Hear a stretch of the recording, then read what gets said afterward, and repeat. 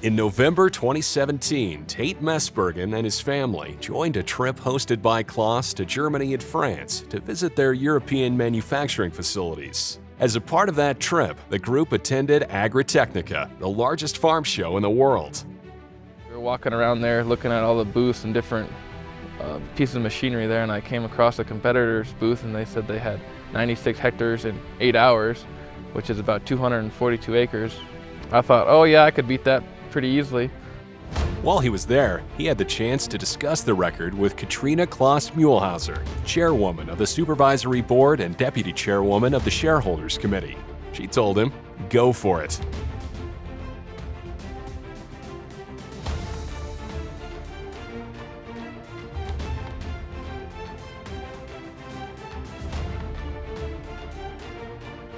Today we have a big challenge in front of us. We want to break the world record cutting alfalfa with a triple mower conditioner here with our Disco 1100.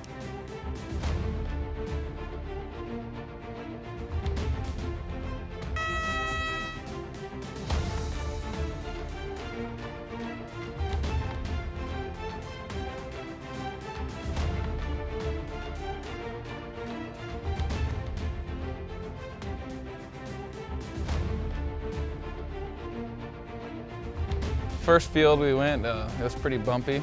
The sprinkler tracks were a little tough, so I had to go a little bit slower. And the hay was really, really heavy. We were trying to average about 14 miles an hour.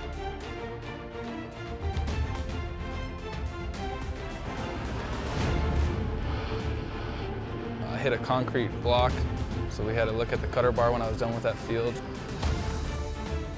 Everything looked fine after that, so the cutter bar on the Claas mower is really good because we're cutting so fast at 19 mile an hour, cutting 35 foot at a time. It's pretty impressive. Four hours right now. We are halfway through the record setting. Hey, how are things going out there? Going good. I got about 175 acres cut so far and looking forward to do more. The mower was picking it up, cutting it smooth. It was cutting it really nice. The farmers were really happy with how it was cut. We had about an eight mile haul from four to five fields. So we did that in about 15 minutes. We were going about 34 mile an hour.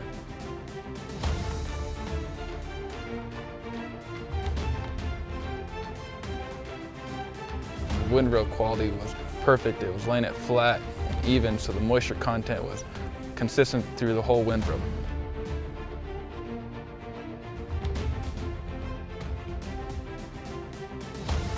We'll be stopping in 15 seconds.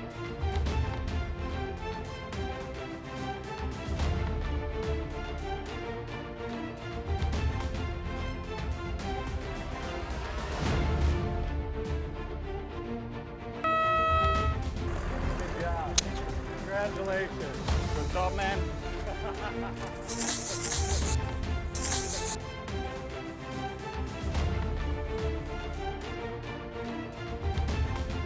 Congratulations, yeah? Yeah.